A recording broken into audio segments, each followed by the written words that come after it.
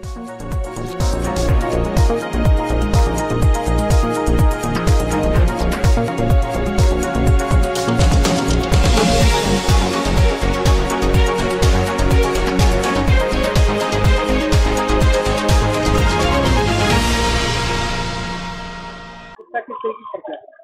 संजय गोयल, निवासी यमुना विहार। प्रीति गुप्ता जी को देख के यहाँ पे लोगों में बड़ा उत्साह है। और उनकी जीत मुझे लगता है निश्चित है। बहुत लोगों का मिल रहा है। उन्होंने कोरोना काल में बहुत काम किया। बिल्कुल निस्वार्थ काम किया। ना कोई उनका पापा था, ना कुछ था। तब भी उन्होंने बहुत काम किया बढ़ चढ़ के हिस्सा लिया। और इतनी राशन की, उन्होंने कम से कम मुझे लगता है बावन सौ राशन की देश का चुनाव रहेगा या पार्टी का चुनाव रहेगा देखो, मुझे घोंडा से तो प्रीति गुप्ता जी का रहेगा। पार्टी तो है ही है साथ। लेकिन प्रीति गुप्ता जी को जितना उतना उत्साह मिला जहाँ देखो भीड़ भीड़। सब लोग उन, उनके साथ जुड़े हुए हैं और प्रीति गुप्ता जी ज़मीन से जुड़ी हुई कार्यकर्ता हैं और अब उनको ये सौभाग्य मिला है। प्रीति गुप्ता जी से क्षेत्र निवासियों को बड़ी उम्मीद है कि उनका क्षेत्र का बहुत विकास हो। हमारा विचार है रामायण के माध्यम से कर्म श्रेष्ठ है कर्म कर्म प्रधान विश्व कर राखा जो तज करिए तस्वन चाखा और कर से कर्म करो, विधि जाना कोई भी उम्मीदवार हो भारत की जनता के लिए ईमानदार से काम करेगा वो उसको मिलनी चाहिए। क्या कुछ कहेंगे? मोदी जी के बच्चे मैं उसके बाद किसी का कुछ कह ही नहीं सकता। किसी के बारे में नहीं कह सकता। तो इस बार क्या जो जो उम्मीदवार है कांग्रेस से भी है बीजेपी से है आम आदमी से। मैं किसी के बारे में क्यों कहूँ? तो सरकार कैसी चाहिए इस बार आपको? सरकार? सरकार ने काम करने वाली सरकार चाहिए। अरे आप सारी बिजली पानी सड़क स्कूल भोजन पानी सब ऐसी सरकार चाहिए। हाँ तो बता दे दिया के तो उसको उसको उसको चुनो। आप किसको चुनने वाले? भाई हम ऐसे हम नाम नहीं ले सकते हम चुनेंगे कि हम वोट देंगे वो तो- लेकिन हमारा प्रचार है जनता में आप आने वाली चार दिसंबर को अपना मतदान मतीदान बुद्धि का दान कीजिए। तस्वीर अपने सामने आ जाएगी जितने बटन दबेंगे वही जीतेगा। पूनम गुप्ता क्या कुछ कहेंगे आज? जो मैं बीजेपी साथ में बात हाँ की है? हाँ जी किसी की प्रत्याशी क्या कुछ मैं आप ये बोलना चाहती हूँ मेरा मकान बेकार हो रहा है। कल को मैं मकान बनाना चाहती हूँ तो मेरे पास लेने के लिए पैसे नहीं जैसे वो लेने आते हैं पुलिस वाले के मुझे इतने पैसे दो उतने पैसे दो मैं नहीं दे सकती। क्योंकि मेरी इतनी हैसियत नहीं है। आश्वासन जताया अगर हाँ तो नहीं। मैं बिल्कुल उनके साथ है। तो आने वाले चार दिन को क्या करना हम उन्हीं को वोट देंगे और कमल को खिलाएँगे हम उनके साथ हैं और हम उनको आगे के लिए पूरी कोशिश करेंगे और बहन माताओं को बताएँगे कि भाई उनको जिताएँ क्योंकि वो हमारे लिए खड़ी हुई है। तो हम भी उनके लिए कुछ ना कुछ ज़रूर करेंगे वोट उनको ही देंगे। जिंदाबाद। भारतीय जनता पार्टी जिंदाबाद। राम राम जी मैं मेरा नाम Sarpanch rap star Gonda ward से हूँ। मैं प्रीति जी के समर्थन में एक बहुत प्यारा सा रैप लिखा है।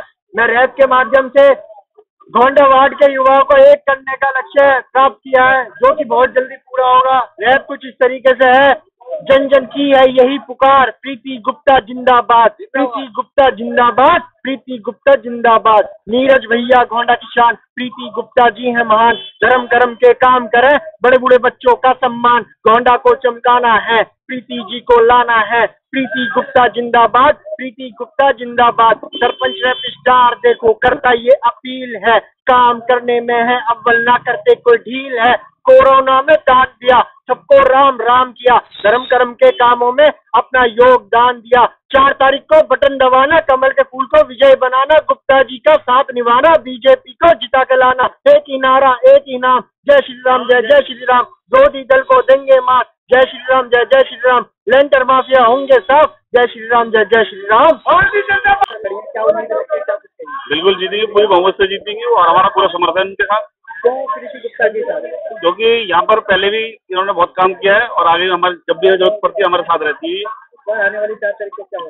चार तारीख को हम प्रीति गुप्ता जी को वोट देंगे बीजेपी को पूरी बहुमत से जिताएँगे। अच्छा बात करें जाए सर नगर निगम के चुनाव चल रहे हैं। किस रूप में देख रहे हैं? तीन चार पार्टियाँ हैं। नगर चुनाव जो है मेन मुद्दा है वो सफ़ाई का स्वच्छता का ही मुद्दा है मेन मुद्दा। जिससे बीमारियों से बचा जा सके स्वच्छ जीवन रह सके।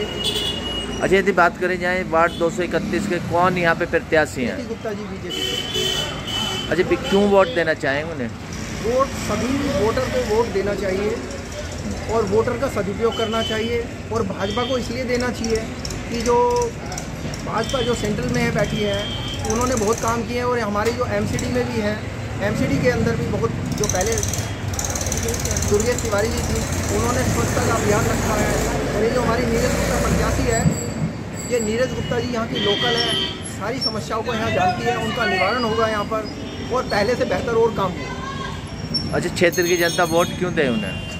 क्षेत्र की वोट इसलिए दे कि जो पहले आम आदमी पार्टी की रेखा रानी यहाँ पे उम्मीदवार थी उसके बाद दुर्गेश तिवारी जी आई भाजपा में। अब प्रत्याशी हमारा जो है प्रीति गुप्ता जी हैं भाजपा से। अच्छा नगर निगम के चुनाव चल रहे हैं। किस रूप में देखते हो? बीजेपी पार्टी भी है कांग्रेस भी है आम आदमी पार्टी है बीएसपी है। क्या माहौल लग रहा है? माहौल बीजेपी का ही लग रहा है जब से हम आए हैं।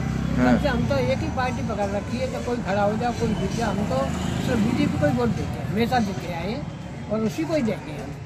अच्छा बात करी जाए यहाँ कौन 231 वार्ड से खड़ी हुई हैं? ये प्रीति गुप्ता खड़ी हुई है हमारे पास में ही बिल्कुल और हमारा बहुत दिनों से संपर्क है हम्म। हमारा घर जैसे संपर्क है अच्छा कैसी प्रत्याशी है? बढ़िया प्रताप से अच्छा वोट क्यों दे जनता इनको? वोट क्यों दे? वोट इनके काम काज हम देखे शुरू से ही अच्छे काम करते आए हैं। किस तरीके के काम काज जैसे ये विकास करना ये करना ये जैसे रोड बनवाना ये साफ़ सिंह चौहान थे उन्होंने बहुत बढ़िया काम करवाया है जब तक रहे तब अच्छे ही काम करवाए।